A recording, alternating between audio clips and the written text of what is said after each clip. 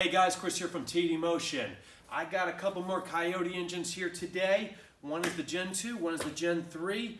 So as far as similarities go, they fit identically into a car or a truck or vehicle as far as the engine mount goes, the bell housing patterns go.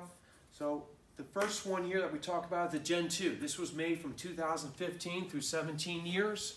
Uh, has some good stuff in there.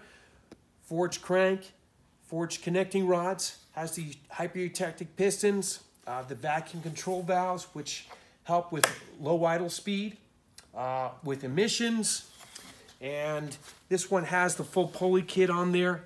We're selling this to a customer actually with a uh, F100 truck. Has the, the AC, the power steering, the alternator all in place.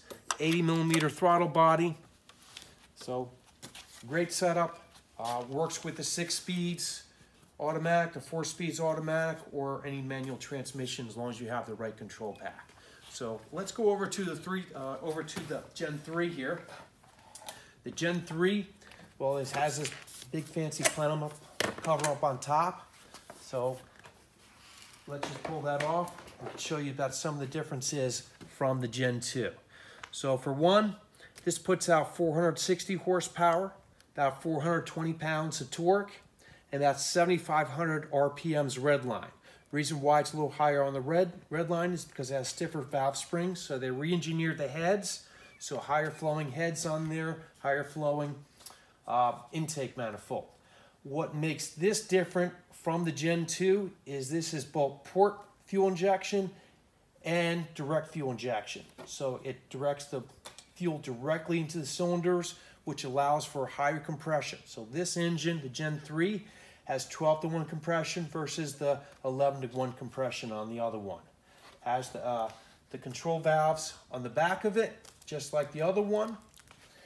Um, I think the balancer on here too is a, is a heavier duty balancer, so it can turn higher, higher RPMs with the viscous dampener on there too. As far as all the mounting locations, they're identical between the two of them.